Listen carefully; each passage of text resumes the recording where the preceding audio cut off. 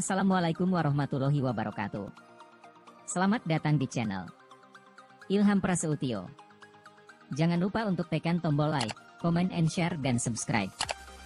Serta jangan lupa pula aktifkan lonceng notifikasinya agar saya lebih semangat lagi. Terima kasih.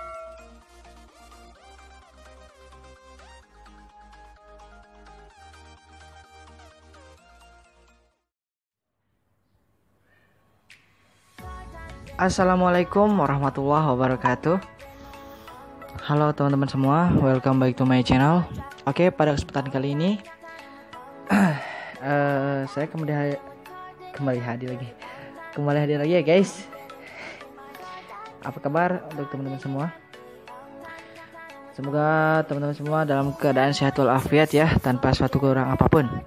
Oke, pada kesempatan kali ini saya kembali hadir untuk membawakan satu tutorial Oke, dan di sini saya akan memberitahukan kepada teman-teman yaitu bagaimana cara mengaktifkan opsi pengembang dan menonaktifkan opsi pengembang di HP J5. Dan ini saya menggunakan versi saya sendiri ya teman-teman. Oke, tanpa berbahasa basi lagi langsung saja kita menuju ke tutorialnya. Oke teman-teman, langkah pertama kita buka dulu aplikasi pengaturan. Kita cari dulu pengaturan.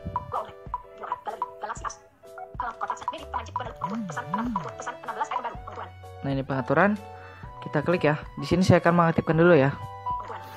Oke, setelah pengaturan terbuka, kita cari yang namanya tentang perangkat.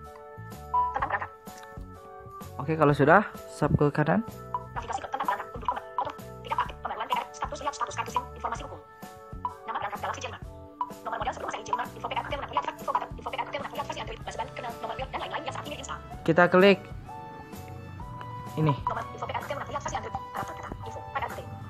Info PR kata lunak ya. Kita klik. Setelah diklik ke sub ke kanan.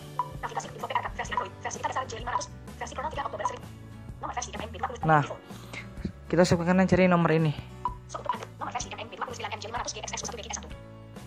Kita coba dulu ya, apakah uh, di sini saya akan mengaktifkan dulu opsi pengembangnya ya. Kita klik nomor ini, Se uh, kita ketuk dua kali, sebanyak tujuh kali ya, kita coba. Nah itu ya teman-teman. Jadi untuk mengaktifkan opsi pengembangnya kita masuk ke tentang telepon pilih PRKT lunak lalu sebagai kanan cari nah ini ya. Lalu kalau sudah kita kembali dua kali. Oke. Okay. nah setelah opsi pengembangnya uh, diaktifkan di sini ada tambahan lagi. Pilihan pengembang. Jadi ini sudah aktif ya teman-teman. Sekarang kita coba klik sebelah kanan. Nah ini sudah aktif teman-teman. Jika teman-teman ingin menggunakan fitur di dalam pengembang ini silahkan ya dijelajahi sendiri. Oke teman-teman. Itu opsi pengembangnya sudah aktif. Oke teman-teman. Sekarang uh, bagaimana cara menaktifkannya ya teman-teman? Setelah tadi kita menyalakan sekarang akan menaktifkannya. Sekaligus menyembunyikan uh, dari pengaturan ya teman-teman biar tidak tampil seperti tadi ya. Oke, di sini kita masuk lagi ke pengaturan.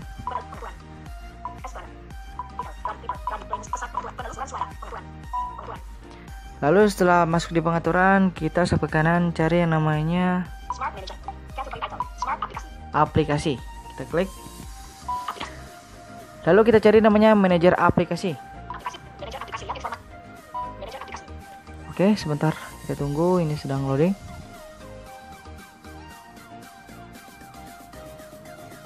Kita sekarang ke kanan. Oke, misalnya sudah tampil seperti ini, kita scroll dua jari ke atas ya, kita cari pengaturan.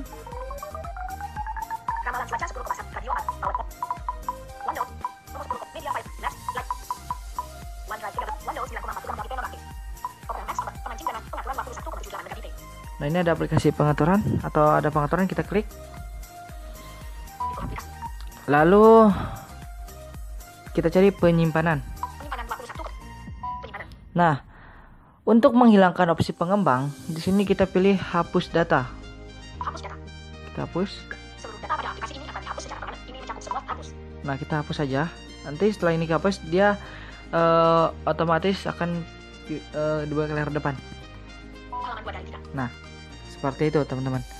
Oke, setelah pengaturannya kita hapus data, sekarang kita buka lagi aplikasi pengaturan. Sekarang kita cek apakah di bawah itu ada opsi pengembang atau tidak. Kita cek. Nah, tidak ada ya teman-teman. Tadinya kan di antara Tentang perangkat dan panduan pengguna ini ada opsi pengembang. Sekarang sudah tidak ada. Jadi cukup mudah kan teman-teman untuk menghilangkan dan menampilkan opsi pengembang tersebut. Oke teman-teman, mungkin cukup sekian tutorial yang bisa saya sampaikan. Kurang lebihnya mohon maaf apabila selama saya tutorial banyak kesalahan. Saya Assalamualaikum warahmatullahi wabarakatuh.